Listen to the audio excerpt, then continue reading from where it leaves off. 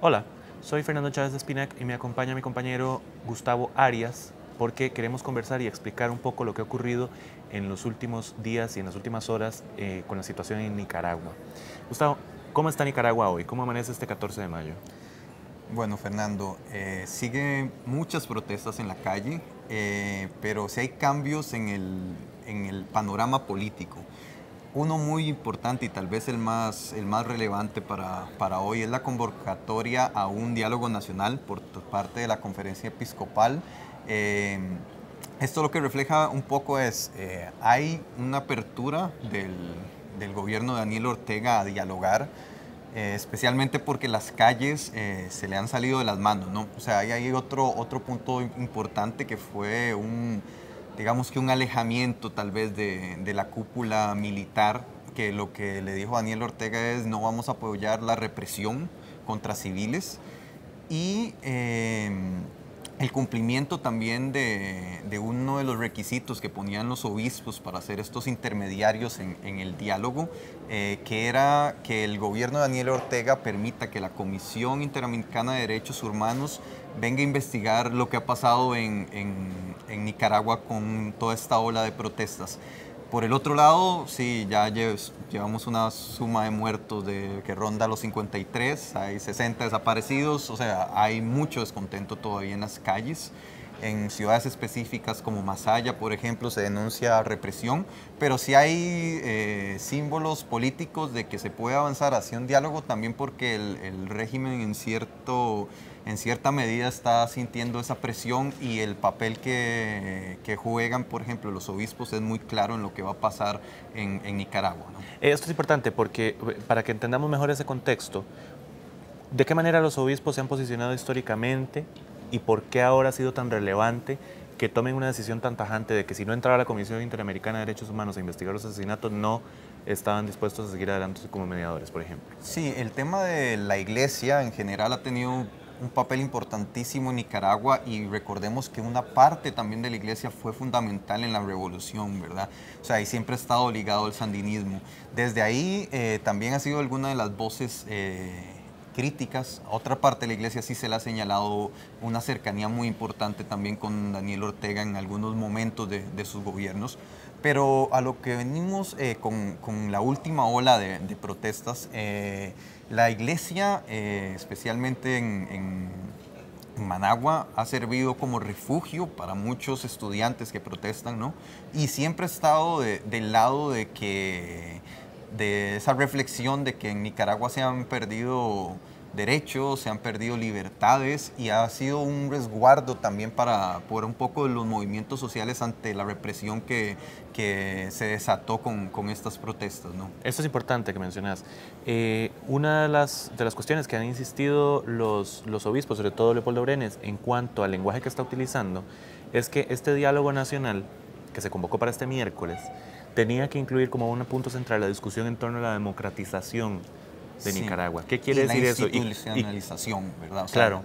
¿Cuánto pesa ese tipo de lenguaje en la discusión? Sí, es muy importante porque recordemos que aunque estas protestas eh, estallaron por el tema de las reformas al, al sistema de pensiones, en realidad eh, ese fue como la puntita del iceberg, ¿no? ¿verdad? O sea, lo que viene es todo un proceso que, del cual también hemos sido testigos de que la institucionalidad democrática nicaragüense se ha ido debilitando y no de ahora, ¿verdad? O sea, es algo que se ha señalado, que los organismos internacionales han señalado por mucho tiempo, ¿no? O sea, de cómo al final la presidencia de, de, Daniel Ortega ha ido eh, penetrando en todas las esferas hasta que tiene un, un, control de no solo del Parlamento, sino también de las instancias electorales, ¿no? O sea, se habla mucho de, por ejemplo, las prohibiciones que ha tenido la oposición para participar también hay una oposición muy débil, una oposición política, digamos, que, que, es diferente a la posición esta de las protestas, ¿verdad? Que ha sido un movimiento tal vez más sui generis a la oposición política tradicional que también se ha ido, se fue debilitando, ¿no? O sea, también estamos hablando del acceso a los medios de comunicación, eh, la censura muchos medios de comunicación que, críticos, ¿no? Entonces también creo que lo que plantea el, los obispos, especialmente en el caso de Leopoldo, es tal vez ver el problema más macro ¿no? de, no de las protestas, sino de cómo esa institucionalidad democrática en Nicaragua se ha ido debilitando, que creo que es lo que se refleja mucho en, en las calles con competiciones hasta de la salida de, Daniel Ortega, ¿no? O sea, de que al final de cuentas despertas en un, en un, momento en que también es un proceso complicado de, de mediante las vías políticas y democráticas que están eh, establecidas hacer cambios, ¿no? O sea, de, ahorita es como un proceso complicado porque al final podemos decir que todos los órganos del Estado están controlados por, por el gobierno de Daniel Ortega. Entonces también viene un poco de, de cómo lograr que esa participación de otros movimientos, de otras visiones, entren a jugar de nuevo en, en, el, en los procesos democráticos en Nicaragua. Siendo así y tomando en cuenta el hecho de que las manifestaciones han estado mayormente en lo que ellos llaman por movimientos autogestionados, Em, y que la oposición, en términos partidarios, es débil, y deliberadamente debilitada también a lo largo de los años, ¿qué podemos esperar de esto llamado un diálogo nacional? Es decir, puede haber resultados concretos al tomar en cuenta que no necesariamente están institucionalizados los actores que reclaman este tipo de cambios en el, en el, estilo de gobierno y en la democracia nicaragüense. Sí, yo creo que es un poco aventurado afirmar que van a haber cambios. Lo que sí creo que es claro que hay un avance en el sentémonos a dialogar mediante estos, estos puntos, ¿no? Por ejemplo, el que entre la Comisión Interamericana a investigar. O sea, que era algo que hace dos semanas, o sea, hace una semana y media era tal vez impensable, ¿no? O sea, que las primeras reacciones del gobierno de Ortega, además del tema este de la represión en las calles, fue una negativa total a ese diálogo o un diálogo totalmente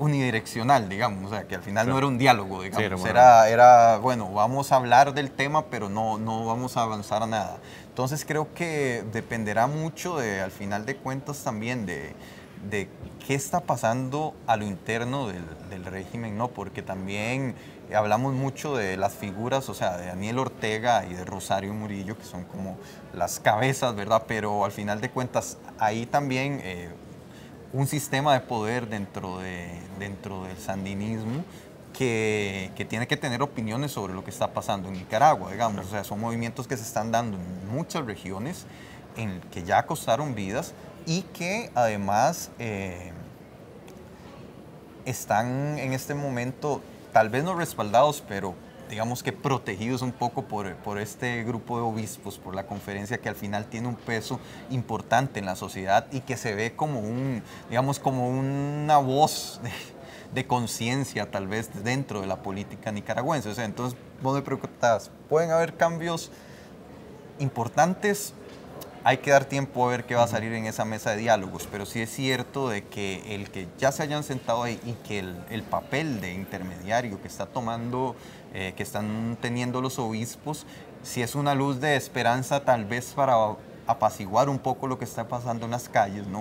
O sea, tanto de los, de los dos lados, apaciguar un poco el tema de la protesta y el otro el tema de la represión y encaminarse a que Nicaragua pueda fortalecer su institucionalidad democrática dentro de esas normas democráticas, ¿no? O sea, de que al final de cuentas, o sea, es muy complicado pensar en, en, que la situación, si sigue subiendo de tono, vaya a mejorar, ¿no? Porque ya estamos, o sea, estamos en un, en un punto de quiebre que al final también, como son movimientos, como vos mencionabas, muy autogestionados, o sea, que no tampoco es que se está siguiendo un líder, una única visión, un solo. Entonces creo que tal vez esta mesa, o sea, puede llevar a, a eso, apaciguar un poco los, los ánimos y además avanzar en que el sistema democrático nicaragüense vuelva a funcionar, que es lo que creo que ahorita es el, el, fondo del asunto, que la institucionalidad democrática nicaragüense se debilitó a tal punto de que no es creíble de que al final de cuentas el, el gobierno de Daniel Ortega esté dentro de esos parámetros democráticos. Sí, ni que vaya a ceder el poder tan fácilmente. Exacto. Bueno, esto es un repaso de la situación de Nicaragua esta semana. El miércoles, eh, por supuesto, estaremos muy pendientes de la discusión que se dé en este diálogo nacional en Nicaragua y en La Nación y en nación.com pueden encontrar muchas notas en las cuales contamos lo que están viviendo las personas nicaragüenses allá en Nicaragua y también aquí en el país, así como el, el acontecer político que ha llevado a esta situación de crisis. Muchas gracias.